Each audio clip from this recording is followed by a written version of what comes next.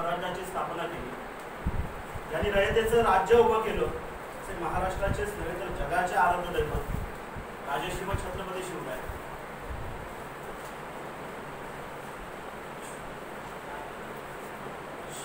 ज्यांनी शिक्षणाची ज्ञानगंगा बहुजन वर्गाच्या घरोघरी पोहोचवली असे सत्यशोधक समाजाचे प्रणेते राष्ट्रपिता महात्मा ज्योतिराव फुले. शिक्षणाच्या जननी माता सावित्रीबाई आरक्षणाचे जनक राजश्री शाहू महाराज.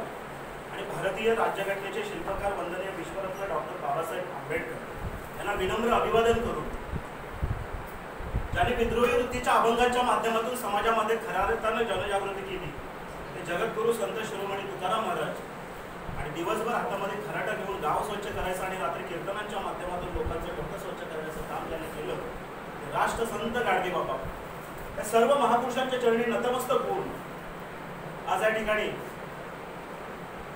कणसू ग्राम विकास मंडळाचं दिनदर्शिका प्रकाशन सोळा दोन हजार एकवीस. या ठिकाणी संपन्न होत आहे. खरं तर या प्रकाशन सोहळ्यासाठी विचार मंचावरती उपस्थित आहेत आजच्या कार्यक्रमाचे अध्यक्ष आमचे मार्गदर्शक सन्मान्य निकम साहेब. कुणबी समाज वरुण समाजाचे विद्यमान अध्यक्ष आमचे मार्गदर्शक सन्मान्य घाणेकर साहेब. आमचे मित्र युवा अध्यक्ष सन्मान्य पाटील साहेब. या ठिकाणी पण अठरागाव समाजाचे त्यांची आता उपस्थिती लाभलेली होती परंतु एका कार्यक्रमानिमित्त त्यांना जावं लागलं. श्रीमतीची गरडकर साहेब कुणबी समाज विकास संघाचे उपाध्यक्ष सन्माननीय नंददीप पाणकर साहेब कुणबी युवाचे वैद्यकीय विभाग अधिकारी सन्माननीय राजेजी पड्याल साहेब या त्या या ठिकाणी सन्माननीय निकम साहेब उपस्थित आहेत. त्याचबरोबर तुम्हाला सगळ्यांचे लाडके यांचं त्यांचं आताच मार्गदर्शन झालेलं आहे. श्री बिजले साहेब. कणसू ग्रामविकास मंडळाचे नवनिर्वाचित अध्यक्ष आणि कुणबी शिक्षण विभाग प्रमुख आणि सहकारी सन्माननीय मनवल साहेब. कणसू गावाच्या संपर्कात येण्याचं एकमेव कारण म्हणजे ज्यांच्या सं ज्यांच्या माध्यमातून पणसू गावाशी कनेक्ट आम्हाला होता आलं. असे जे नेहमी पडद्याच्या मागे असतात राजेंद्रजी विचले साहेब आणि त्यांना मी या ठिकाणी माझा छोटा छोटा तरी सत्कार करेन त्यांचं. की त्यांच्या मार्फत या ठिकाणी पणसू गावाशी अनेक युवा कनेक्ट झाला. रवींद्र मनोहर साहेबांसारखा हिरा आम्हाला मिळाला. निकम साहेब आणि विचले साहेब आणि राजेंद्रजी विचले साहेबांच्या मार्फत त्यांच्याकडे सातत्याने दोन तीन महिने मी बोलत होतो. म्हणजे कुणबी विवाहाची ज्यावेळेस दोन हजार सतरामध्ये आमची स्थापना झाली. त्यानंतर फणसू गावातून असं इतकं सक्षम असं आम्हाला नेतृत्व पाहिजे होतं परंतु ते यामार्फत यांच्यामार्फत मार्फत आम्हाला मिळालं. त्यामुळे मी विचले साहेबांसाठी मी मनापासून माझा सत्कार त्यांना त्या ठिकाणी त्यांनी स्वीकार करावा त्याचा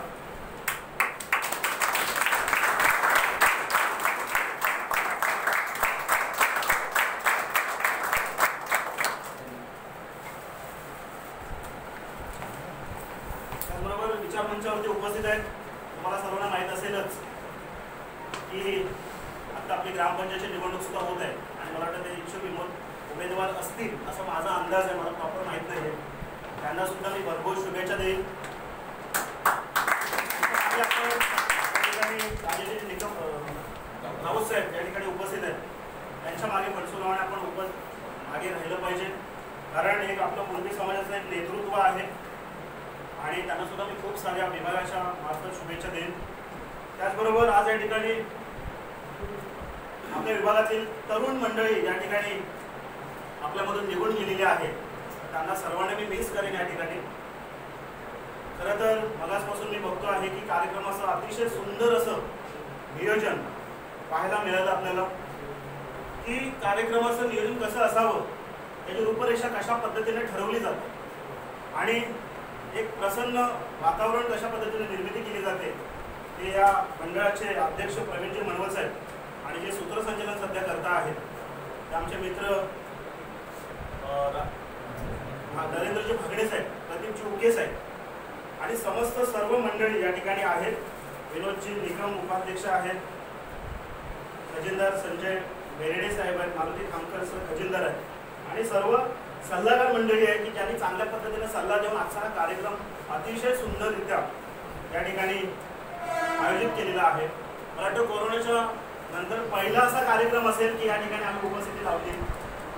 पहिलाच कार्यक्रम आहे. जवळपास आठ नऊ महिने झाले असतील. पहिल्या कार्यक्रमाला या ठिकाणी आपण आलेलो आहोत आणि पहिला कार्यक्रम अटेंड करतो आहोत. त्यामुळे मी मंडळाला खूप साऱ्या शुभेच्छा देईन. दिनदर्शिकेचं सुद्धा त्या ठिकाणी मी वाच वाचन केलं पाहिलेलं आहे. खूप सुंदर अशा प्रकारचं कमी वेळेमध्ये सुद्धा चांगल्या पद्धतीचं क्वालिटीमध्ये असणारं हे जे पेज आहे किंवा ज्या त्याच्यामध्ये असणारं जे ॲडव्हर्टायझिंग आहे ते खूप सुंदर आवडलं मला. त्याचा पेपर पण खूप चांगल्या पद्धतीने यूज केलेला आहे. आणि यातल्या बऱ्याचशा ज्या ॲड आहेत त्या फणसू गावातल्या सर्वच्या सर्व सदस्यांच्या. अठरा गावातील जरी मान्यवर किंवा पंचक्रोशीतील काही लोकांच्या जर सोडलं तर मला वाटतं यापैकी जवळजवळ पंच्याहत्तर टक्के भाग हा फणसू गावाचा आहे. आणि तुम्ही सर्वांनी हा कार्यक्रम सक्सेसफुल केलेला यशस्वी केलेला आहे. त्याबद्दल तुमच्यासाठी एकदा जोरदार टाळायच्या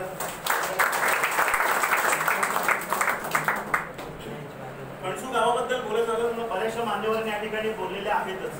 त्यामुळे मी अधिक बोलण्यात काय जास्त वेळ घेणार नाहीये आणि दुसरा पण एक कार्यक्रम आहे त्या ठिकाणी आपल्याला जायचं आहे मुनवरे पंचकृषीमधील पंचकृषीतील मुख्य केंद्रस्थानी असलेले आणि अठरा गावात सर्व क्षेत्रात उल्लेखनीय कामगिरी बजावणारे तालुक्यापासून सव्वीस किलोमीटर अंतरावरती बसलेले ग्रामीण भागामध्ये शिक्षणाची आणि सामाजिक चळवळीची मुहूर्तमेढ होणारे एक फणसू गाव हे खरोखर एक आदर्श गाव अठरा गावामध्ये आहे.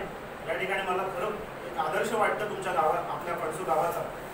की उणवरे विभागाची सर्व सूत्रे मगाशी गरेटकर साहेब म्हणाले की उणवरे विभागाची सर्व सूत्रे ही फणसू गावातूनच फणसू फणसूच्या नात्यातूनच हलवली जातात. हे खरं ते सत्य आहे. कारण फणसुगाव हे केंद्रस्थानी असणारे गाव आहे. परंतु मला माहीत नाही की या अगोदर किती प्रयत्न केले गेले किंवा काय माहीत नाही. मला पण दोन हजार सतरापासून मी बघतो आहे की खऱ्या अर्थानं फणसू गावामध्ये असणाऱ्या ज्या आपल्या विभागाच्या समाजाच्या ज्या वाड्या आहेत म्हणजे कुणबी समाजाचं प्राबल्य अधिक असणारे हे फणसू गाव आहे. ओबीसीच्या अनेक काही वाड्या आपल्या इतर समाजाच्या पण आहेत.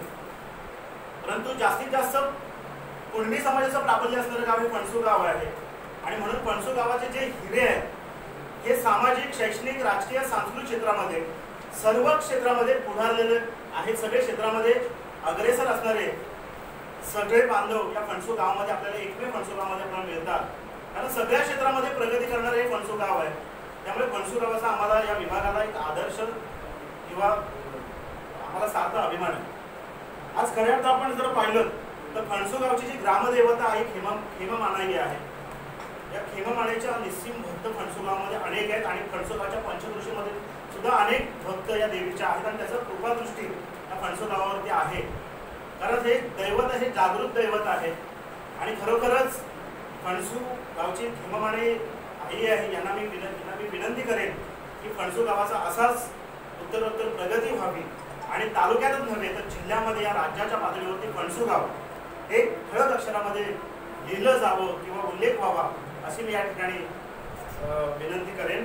त्याचबरोबर आज खऱ्या अर्थानं आपण पाहिलं तर फणसू गाव हे बहुजन संघटनेचं गाव असलं तरी फणसू गावामध्ये विविध अशी या ठिकाणी आपल्याला सगळ्या सुखसुविधा पाहायला मिळतात.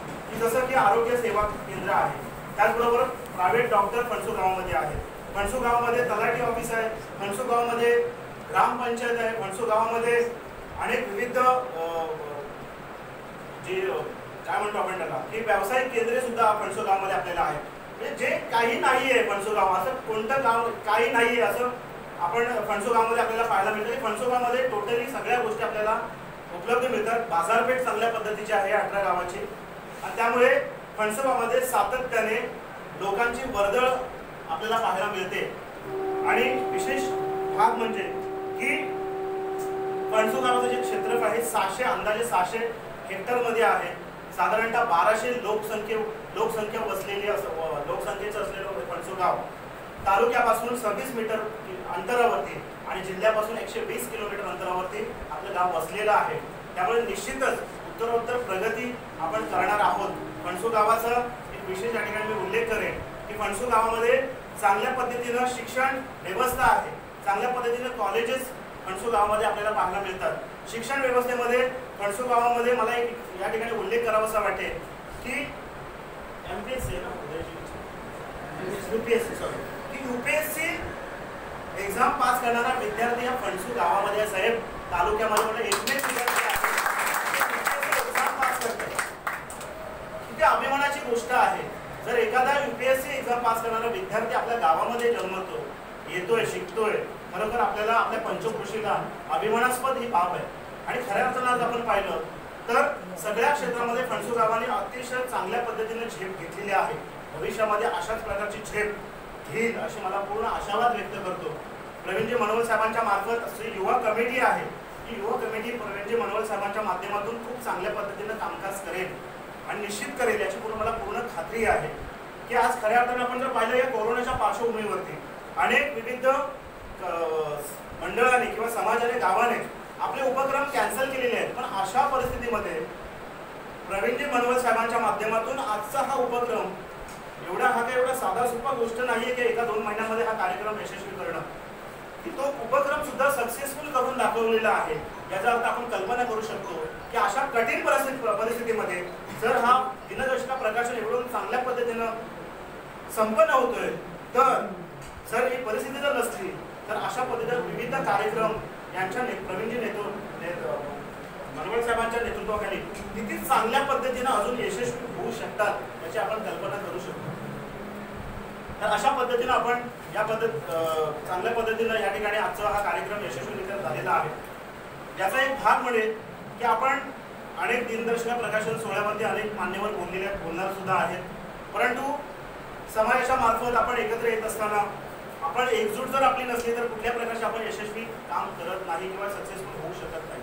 त्यामुळे सर्वात महत्त्वाचं की आपण संघटित राहणं ही फार महत्त्वाची बाब आहे. आणि खऱ्या अर्थानं आपण अजून पाहिलं की समाजाचे संघटित असताना समाजाचे विविध प्रश्न आहेत.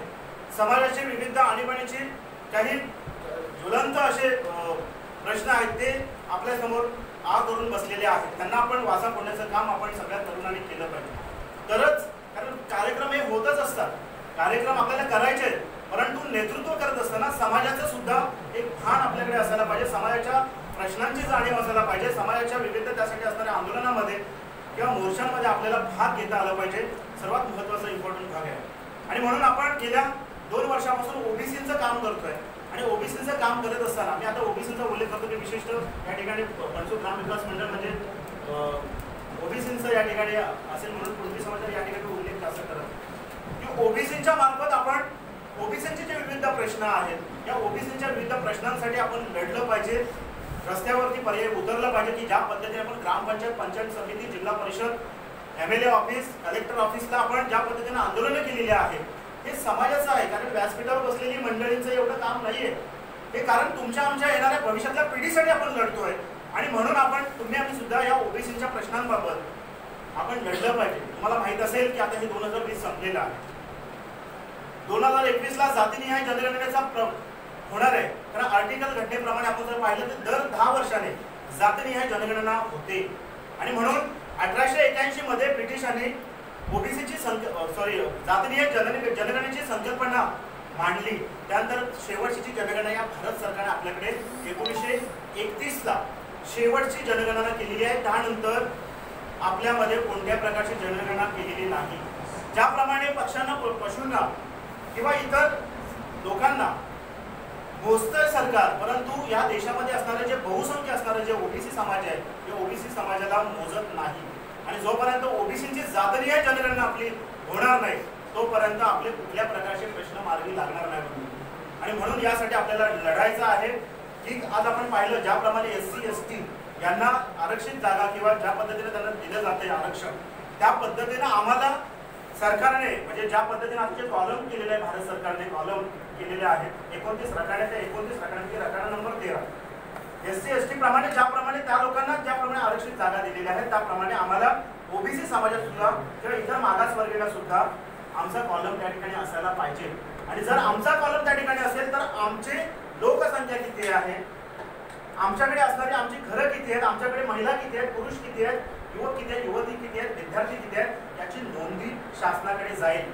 आणि जर नोंदी शासनाकडे गेली तर साहजिकच आपल्याला जातीय जनगणना झाली तर आपल्याला विविध प्रश्न आपले आज आपण बघतो आहोत की ओबीसीचे विविध प्रश्न याच्यामध्ये सर्वात महत्त्वाचा की जी नॉन क्रिमिनल चळवळ आहे आपल्याला जास्त सतावते मग विद्यार्थ्यांच्या शिक्षणासाठी असेल आपल्या नोकरी नोकरी धंद्यासाठी असेल हे जास्त आपल्याला फार फार म्हणजे सतावते म्हणजे नॉन क्रिमिनलची अट एकदा जर रद्द झाली. तर आपल्याला नोकरीचा प्रश्न असेल आपल्या विद्यार्थ्यांचा जो प्रश्न शिक्षणाचा असेल तो मार्गी लागणार. ओबीसीची जर जातनीय जनगणना झाली तर आपल्याकडे जे ओबीसीच्या प्रवर्गामध्ये ज्या म्हणजे संख्येप्रमाणे जे असणारे जो आपला वर्ग आहे संख्येनुसार आम्हाला जे घटनेने आम्हाला अधिकार दिले ज्या घटनेप्रमाणे जे आम्हाला आमच्याकडे ज्या पद्धतीने आम्हाला हे दिलेले आहे आदेश दिलेले आहेत त्या पद्धतीने आम्हाला आमच्या आरक्षित जागा मिळणार आहे. आमची लोकसंख्या लोकांसमोर जगासमोर येणार आहे. लोकसंख्या आम्हाला शासनाकडे आपली लोकसंख्या नोंद असणार आहे. आणि म्हणून त्या पद्धतीनं म्हणून ओबीसीची जातनीय जनगणना व्हायला पाहिजे. ओबीसीची जातनीय जनगणना झाली तर केंद्र शासनाकडून दहा लाख करोड आणि राज्य शासनाकडून पन्नास हजार करोडची आपल्याला तरतूद होणार आहे. ओबीसीची जातनीय जनगणना झाली तर आपल्याला आपल्या ज्या ओबीसीच्या विद्यार्थ्यांच्या शिष्यवृत्तीचा जो प्रश्न आहे हा मार्ग लागणार आहे. आज आपण जर पाहिला तर विद्यार्थ्यांच्या शिष्यवृत्ती किती मिळते जरा ऑब्झर्व करा शाळांमध्ये जाऊ शंभर टक्के शिष्यवृत्ती आपल्याला मिळायला पाहिजे त्यासाठी आपलं हे आंदोलन आहे. त्यासाठी आपण रस्त्यावरती लढतो आहे ओबीसीची जातीय जनगणना झाली तर आपल्याकडे विविध सामाजिक शैक्षणिक राजकीय सांस्कृतिक विविध प्रश्न मार्गी लागणार आहेत. असे असंख्य प्रश्न जे आता सध्या आपण बघतोय आपल्याकडे समाजाचे सुद्धा विविध प्रश्न आहेत. शामराव पेठे समिती अहवाल असेल तुमचा आपल्याकडे जे दरवर्षी जो आर्थिक बजेट सादर केला जातो त्याच्यामध्ये आपल्याकडे विषयीची तरतूद केली जाते हे आपल्या समाजाला मिळत नाही. आपल्या शेतकरी समाजाचा जो आर्थिक फुलांचा प्रश्न आहे तो सुद्धा अनेक प्रश्न प्रलंबित आहे. या सगळ्या गोष्टी नोकरी आज आपण बघतोय खेडेगावमध्ये आलो मुंबईमध्ये आलेलो आहोत. विविध शहरांमध्ये स्थलांतरित होते खेडेगावे. अत्यंत म्हणजे ओस पडत चाललेली आहे. त्याचं कारण काय आहे? की आमच्याकडे कुठल्या प्रकारचा आर्थिक सोर्स असतो उत्पन्न देणारी किंवा आपल्याकडे असं कोणत्या प्रकारचं काही आर्थिक सोर्स असणारे आपल्याकडे कंपन्या नाही आहेत जॉब नाही आहेत म्हणून आपलं गाव सुद्धा आपण मुंबईत आणि म्हणून बंधनं या सगळ्या प्रोसिजर आहेत. मी या ठिकाणी अधिक बोलणार नाही तर बोलायला भरपूर विषय आहेत. कारण हा विषय आजचा हा तुमचा आनंदाचा क्षण आहे त्यामुळे मी अधिक जास्त बोलणार परंतु जे जास्तीत जास्त माझा युवा वर्ग या ठिकाणी आहे आमचे सिनियर सगळे आहेत त्यांना कल्पना आहे त्यासाठी ते लढा देत आहेत. व्यासपीठावर मंडळीची अहोरात्र मेहनत घेतेच. परंतु युवक आणि ह्या गोष्टी ओबीसीचा मुद्दा फार महत्त्वाचा आहे. जर आज आपण लढलो नाही जर आज आपण आमच्या घरात बाहेर पडलो नाही तर येणारी परिस्थिती फार बिकट असणार. शंभर टक्के बिकट असणार आहे. त्यावेळेला आपलीच मुलं आपल्याला बोलणार आहेत की बाबा तुम्ही आमच्यासाठी काय केलं? साहेब तुम्ही आमच्यासाठी काय केलं? आणि म्हणून आज आपल्याला रस्त्यावरती लढण्याची गरज आहे. आणि म्हणून आज संपूर्ण देशामध्ये महाराष्ट्रामध्ये ओबीसी वर्ग हा जागृत होतोय. पण ठाणे रायगड रत्नागिरी सिंधुदुर्ग या आपल्या समाजाच्या प्राबल्य असणाऱ्या ज्या जिल्हे आहेत या व्यतिरिक्त ओबीसी समाज आज अनेक ठिकाणी आज तुम्ही टेलिव्हिजनच्या मार्फत न्यूज चॅनलच्या मार्फत वृत्तपत्रांच्या मार्फत बघत असाल. सगळीकडे सर्वत्र जागृत होतोय आणि म्हणून आम्ही सुद्धा जागृत झालं पाहिजे. आणि म्हणून आपले गावामध्ये असणारी ग्रामपंचायत आहे ग्रामपंचायत सुद्धा ओबीसीचं एक लेटर आपण दिलं पाहिजे. की जातनीय जनगणना झाली नाही तर जाहीरपणे आम्ही शासनाला माहिती कुठल्या प्रकारची देणार नाही. नानाभाऊ पटोले आहेत आपल्या ओबीसीच्या समाजाचे नेते आहेत. ओबीसीचे नेते जे विधानसभेचे अध्यक्ष आहेत. अनेक लोक मुख्यमंत्री सुद्धा त्यांच्यासमोर बसतात.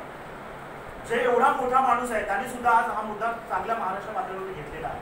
आणि ओबीसीची जर माहिती ओबीसीची जर जनगणना होत असेल ओबीसीची आमची जर माहिती तुम्ही सरकार जर घेणार नसाल ना तर ओबीसीच्या ज्या जनगणने ज्या होणार आहे त्याच्यावरती जाहीर बहिष्कार आपण टाकून टाकूया असं वरून आदेशात आपल्याला आणि आपण ते आदेश फॉलो करायला पाहिजे.